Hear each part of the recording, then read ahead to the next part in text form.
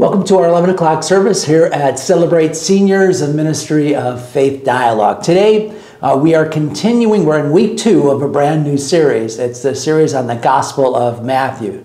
You know, as we start off, I want to I want to uh, mention that you know last week we only did one verse, uh, but this week we're going to be going through verse 17, uh, Matthew 1, 2 through 17, and. Um, Last week, our, our the uh, title of our message was Jesus, the son of David, the son of Abraham. Today, our title is similar. It's Joseph, the husband of Mary. Just Joseph, the husband of Mary, and you'll see how that uh, that unique phrase, unique phrase, is so different, so unlike any other genealogies, and so unlike the rest of the uh, generations leading up to Jesus. And Matthew had a very specific reason in calling um, Joseph the husband of Mary. So let's uh, let's take a look at this genealogy. There's a lot of names in there. We want to try to take it, uh, uh, get through all of the different names. There's going to be 42 different generations leading up to Jesus. So let me get started. Matthew chapter 1, verses uh, verse 1.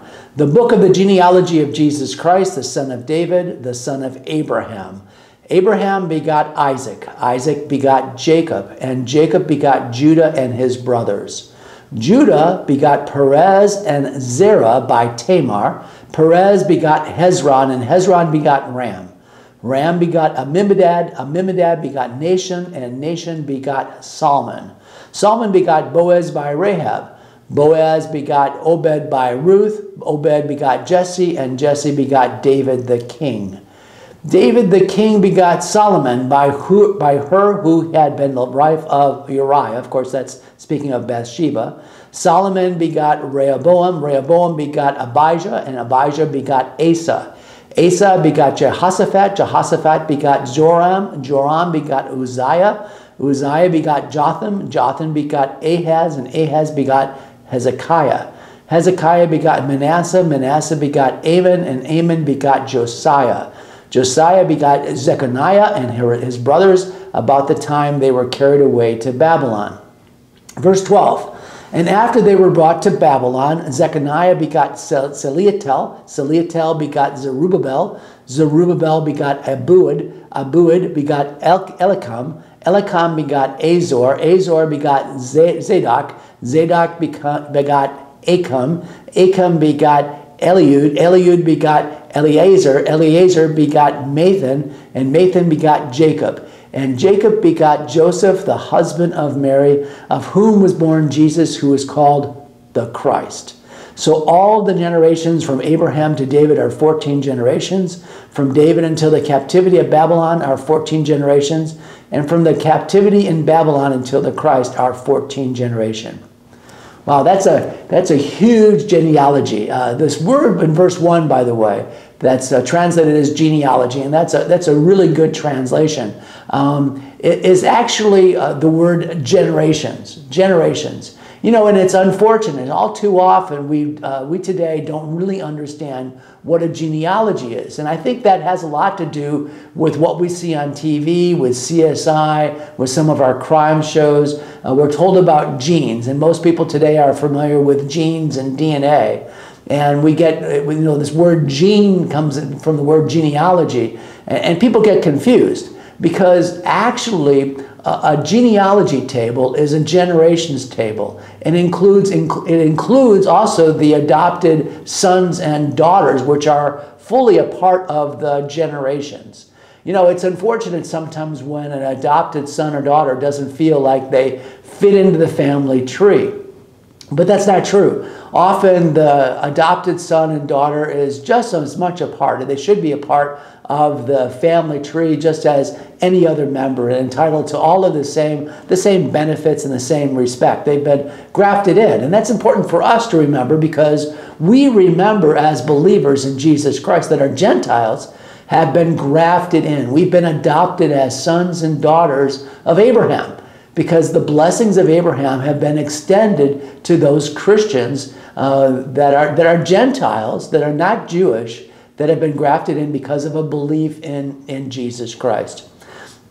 Um, so, so happily, uh, our, our uh, sometimes genealogy is a little bit easier today because of because of DNA. Uh, some people are actually finding their their uh, their birth mothers and birth fathers, which is kind of a, a completely different story, and really not what the the idea of generations here. Uh, but but it is it can be kind of fun. I don't know whether you've uh, tied into uh, to Ancestry.com or any of the other sites. My my brother Dave and I uh, share a, uh, an account on, on Ancestry.com, and it's been kind of fun looking at our genealogy, looking at our ancestors, going back as far as we possibly can. And that it's very time consuming, so you have to be a little careful because it can also be a great time waster.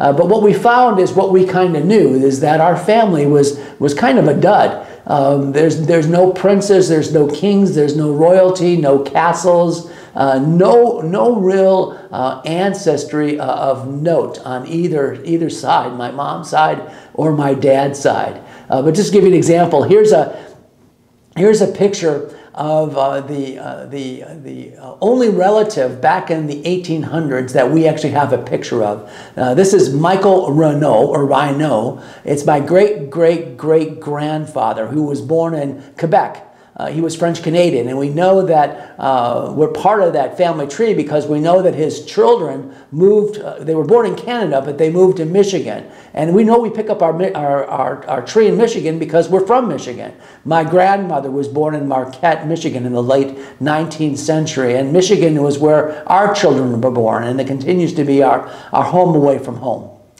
So, so enough of, of my answer history. Let's get into what, what Matthew's talking about here in this genealogy of Jesus Christ. And you know, it's interesting because some scholars have said that Matthew uh, takes a look at the genealogy and really the life of Christ from a Jewish perspective. And, and Luke, who has the other genealogy, uh, takes a look at the life of Christ from a Gentile perspective. Uh, but at looking at it and, and preparing for this lesson and the rest of this series, I can tell you that Matthew actually is looking at this from Jesus Christ, the Messiah's perspective. And really, we start off right away in, in these verses talking about Jesus Christ, uh, the Son of God. That's who Matthew is referring to here. Um, so as we talk a lot about uh, these, this genealogy to this generations, the 14, 14, and 14, 42 different individuals that are part of the ancestry of Jesus Christ going back to, to Abraham, uh, there's three points we're going to make. And the first point is that we have a plan unveiled. Uh, the second is that there's a provision, that's the provision of God that has echoed. And the third is that we'll see prophecy fulfilled. So let's begin today with the plan unveiled. Now, this, of course, is God's plan, and we see it from the very, very beginning, and we picked it up last week in verse number one, where, where uh, Matthew recorded, he said, The book of the genealogy of Jesus Christ, the son of David, the son of Abraham. And, and here's one of the reasons I went, I went back and picked up this one verse that we, we spent the entire uh, half hour on last week, is because we don't want to miss the magnificent claim that Matthew makes. Matthew is claiming messiahship for Jesus. He does this by calling him the Christ, which is the Greek title of the, of the word Messiah. Uh, Messiah is uh, Hebrew, but Christ, the anointed one, is, is, the, is the Greek title for Jesus. That's how we have the title Jesus Christ or Jesus the Christ.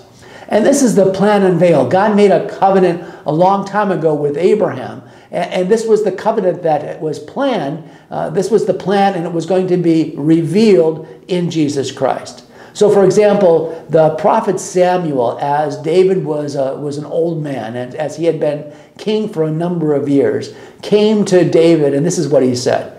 He said, When your days are fulfilled and you rest with your fathers, I will set up your seed after you, who will come from your body, and I will establish his kingdom. He will build a house for my name, and I will establish the throne of his kingdom forever. I want you to notice some of, some of these aspects of God's promise to David. Uh, this eternal king that would come would be a direct descendant of King David. Uh, and this eternal kingdom will not be David's doing. This will be established by God. In verse 13, it says, And I, meaning God, will establish the throne of his kingdom forever.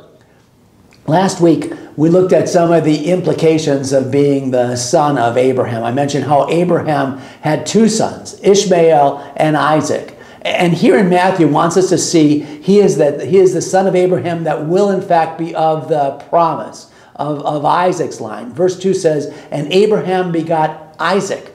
Isaac begot Jacob, and Jacob begot Judah and his brothers. That's the generations preceding Jesus Christ. Matthew makes this claim that this is the genealogy of Jesus Christ, the Messiah. And, and this is the plan unveiled. It includes all of these ancestors of Jesus. Matthew reveals the generations from uh, Abraham to David, and then David to the deportation. He makes it very clear that these are uh, different segments of time, but this is all part of God's, God's revealed plan. Now let's go on to point two. Point two is the provisions that are echoed.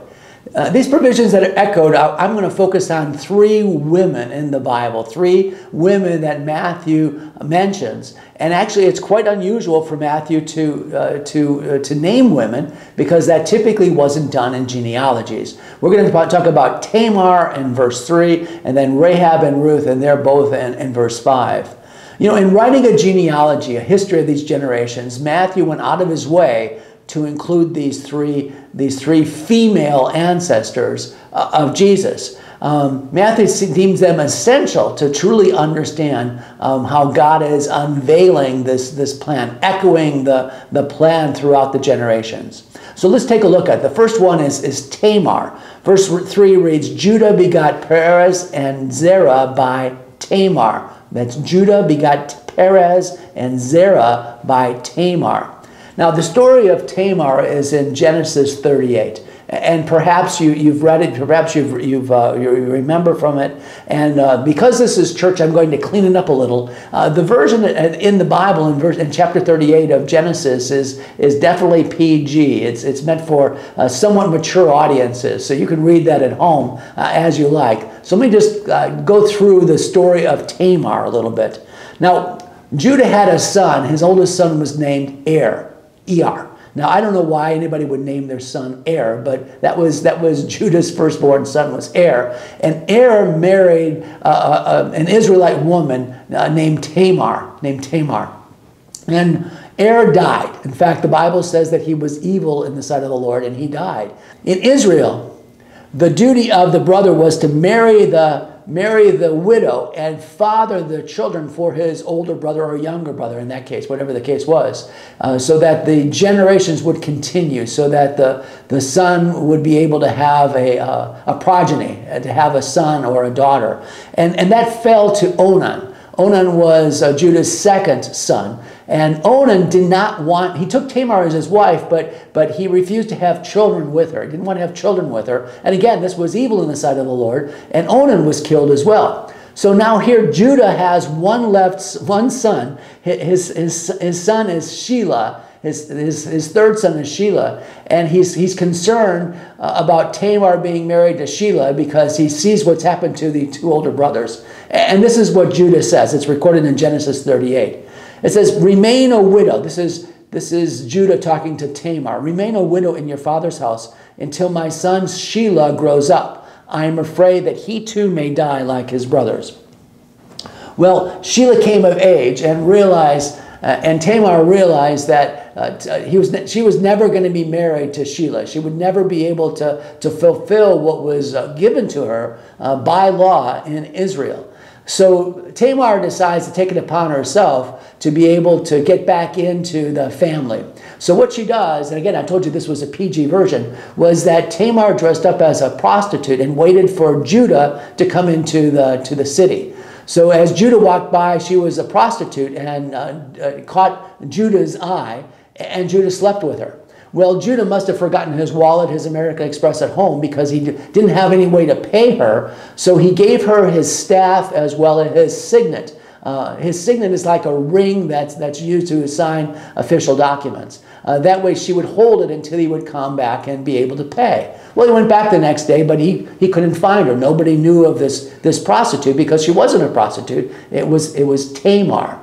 So, so as time goes on, Tamar, of course, is, is pregnant, and Judah finds out about it. he's going to discipline her. He says that Tamar has been playing the harlot, okay? So he's going to discipline her. But Tamar shows up at Judah's house, and she's got his, his staff as well as his signet. And, and Judah realizes that he, he was the one that was in the wrong that, that Tamar was supposed to be given to one of the sons, one of, one of, one of Judah's sons, but, but he failed to do that. And this is what he says. He says, She, referring to Tamar, is more righteous than I, inasmuch as I did not give her to my son Shelah. And this is the way that Tamar is included in this genealogy. Tamar with Judah and the father gave birth to twin sons named Perez and Zerah, and that was why they're included in Matthew 3. This is the ancestry of Jesus Christ. So let's go on. Let's turn to the story of Rahab, and that's also mentioned in, in verse 5. Now, many of you are familiar with, uh, with the story of Rahab. Now, interestingly, uh, again, this is a PG version today, is that Rahab was known as the harlot, Rahab the harlot. She was a Canaanite woman living in Jericho. And when Joshua and the tribes of Israel came to Jericho and were ready to take it, uh, Joshua sent spies into Jericho, two spies. And the two spies uh, were hidden by Rahab up in her, on her roof. And when the soldiers came looking for these two Israelite spies, Rahab, a Canaanite woman, um, basically told the soldiers, she said, um, I saw them go out through the, through the front gate just before it got dark. Go pursue the two Israelites and perhaps you'll, you'll, you'll catch up with them. Uh, the spies, of course, were, were not found because they were still with Rahab. And the spies were interested on why Rahab went out of her way to betray her own people and basically protect these two Israelite spies. And this is what and this is what it says in Joshua chapter 2 verse 11. Um, Rahab says that. She says, For the Lord your God is God in heaven above, above and the earth below. Now then, please swear to me by the Lord that you will show kindness to my family because I have shown kindness to you. So when the city of Jericho fell, and you know the story very well, when the city of Jericho fell, Rahab and her whole family were spared. And Rahab married one of the Israelites and became uh, one of the generations leading to King David. Now, the last woman that will be used today, uh, that, that we'll talk about today, that was included by Matthew in these generations, this genealogy leading up to Jesus, was Ruth.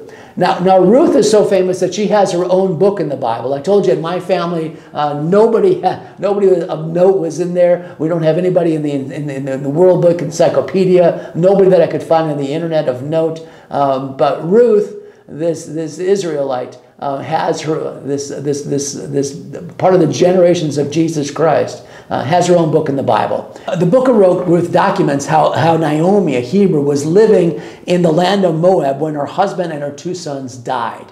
Uh, well, after her sons died, Naomi went to her daughters-in-law that were there, and she said, "Return back to the to the to your parents' house and find husbands there." But Naomi, but but but Ruth, one of her daughters-in-law, said, no, he, she said, Your God will be my God, your people my people, and where you go, I will go. So Ruth and Naomi travel back to, of all places, Bethlehem. Well, Bethlehem is where uh, King David is going to be born and where Jesus is going to be born, according to prophecies. The Messiah would be born in Bethlehem. So she goes back to, to Bethlehem and they meet a, uh, a kinsman redeemer. And that kinsman redeemer is named Boaz. And Boaz ends up marrying Ruth, and they have a child. They have a, a, child, and this is what it says. It says that Boaz begot Obed by Ruth. Obed begot Jesse, and Jesse begot David the king. So we see these generations. So this this provision of God through these three women ended up with David born in in Bethlehem, King David. So we see that these three women are all echoing God's provision. So let's get to the third point, which is prophecy fulfilled. There are 42 different names listed in these generations prior to Jesus Christ. A long list of names. You know, and unfortunately, uh, we, we often, when we see these begots, um, we kind of go on to the next chapter. We see when they're done, and we see that in Genesis and a few other places in the Bible. We, we kind of go to the end rather than reading all the names. But if we do that, we miss some of the language that these that these uh, that the Bible is using because because when it comes to Joseph, Joseph Joseph did not begot Jesus.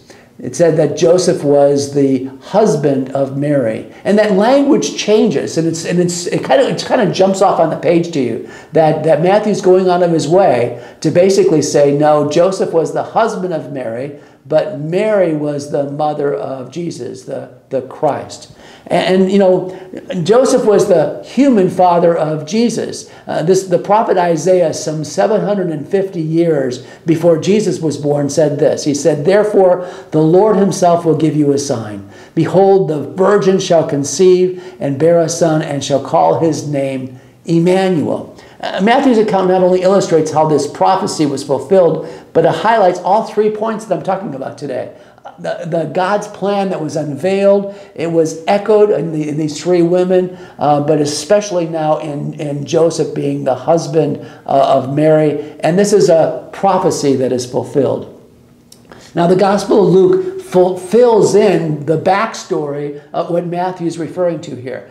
Joseph, the husband of Mary, he was not the father of Jesus. And that's clearly illustrated in the Gospel of Luke. And as we go through the Gospel of Matthew, from time to time, we'll pull in one of the other Gospels to give us the backstory, to give us some, some, some of the things that Matthew is, is missing in his Gospel.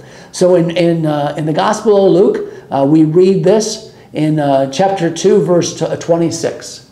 Now, in the sixth month, the angel Gabriel was sent by God to a city of Galilee named Nazareth to a virgin betrothed to a man whose name was Joseph of the house of David. The virgin's name was Mary. And having come in, the angel said to her, Rejoice, highly favored one, the Lord is with you. Blessed are you among women. But when she saw him, she was troubled at the saying, and considered what manner of greeting this was. Then the angel said to her, Do not be afraid, Mary, for you have found favor with God. And behold, you will conceive in your womb and bring forth a son, and shall call his name Jesus. He will be great and will be called the Son of the Highest. And the Lord God will give him the throne of his father David. And he will reign over the house of Jacob forever, and of his kingdom there will be no end. Then Mary said to the angel, How can this be, since I do not know a man? And the angel answered and said to her, The Holy Spirit will come upon you, and the power of the highest will overshadow you. Therefore, also the Holy One who is to be born will be called the Son of God. Now, indeed, Elizabeth, your relative, has also conceived a son in her old age, and this is now the sixth month for her who was called barren. For with God nothing will be impossible.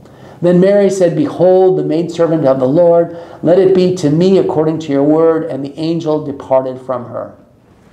You know, this passage from, from Luke, along with these simple words of Jesus, Joseph, the husband of Mary, provides the story, the fulfillment of a prophecy that was given by, the, uh, by Isaiah over 750 years prior to that. The scriptures today will, will il these illustrate exactly how God's plan is unveiled and how it's fulfilled and how prophecy is fulfilled in these generations leading up to Jesus Christ. You know, it was very important for Matthew to identify Jesus as a son of David, of, of, the, of this royal line. Because if the Jews, the opponents of Jesus, could prove that Jesus wasn't born of the, the line of David, it would disqualify Jesus as the Messiah. But Jesus was the Messiah. He is fully God and fully man through this act uh, that the Lord did by making Joseph the husband of Mary, but the father of Jesus is actually the Holy Spirit. Now, let's, let's finish up with these, these 14s that's, that's given in the very last verse, well, where, where it says there's four, 14 generations before the Babylonian captivity, before David, uh, 14 generations from David to the Babylonian captivity, and then 14 generations after the, after the captivity. And what does that refer to? Well, in most study Bibles, it's, it's understood that, that in numerology, now this is a subject that I don't spend a lot of time at, but in, in the Hebrew language and many other languages, every single word, every single letter has a, has a numeric value.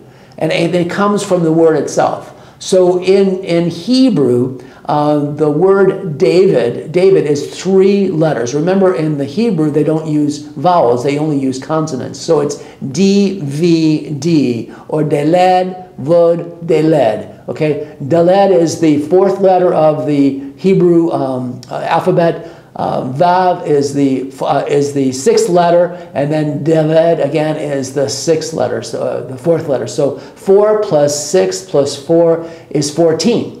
So David, the number of David, the numerical value of the name David, as in King David, is 14. And Matthew is, is using this to illustrate that this is all part of, of God's plan. It, it's 14, 14, and 14. So it's, it's, it's, it's used three times. So we have these numbers, and the question is, what, is, what does this number 14 mean? Well, this is the only place in the Bible that, that it's referenced, 14, uh, the only place that it's referenced. So scholars are kind of scratching their head trying to understand exactly what this, this 14 means. We know that it's associated with David, and the number David is, is, is the, the, the numerical value of the word David is 7.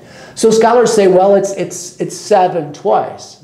It's 7 twice. Well, again, in prophecy fulfilled, if the, if the, if the son of David, the Messiah, is David twice, it may indicate that Jesus Christ is actually coming twice. You see, this was a, this was a, a mystery to the people of Israel. They knew that the Messiah was coming and that he would be the king, that he would, they, would, they would assume the throne of David forever. But we know now through history, 2,000 years later, that Jesus first came as a suffering servant to die on a cross for our sins. But after that, he would rise again, and we would be grafted in as Gentiles, and we would be able to have all of the rights and the privileges, all of the blessings um, through Jesus that was promised to uh, the, the children of, of Abraham. But Jesus Christ is coming back again. The Bible makes that, that very, very clear that Jesus is coming back again. He's coming back for his church. He's coming back to put an end to sin and to be able to rule them on the throne of, of David in Israel. So 14 is 7 twice, and this is where it all fits in as prophecy unveiled. Amen? Amen. Let's pray. So, Father God, we want to thank you, Lord, for this, this day. We thank you, Lord.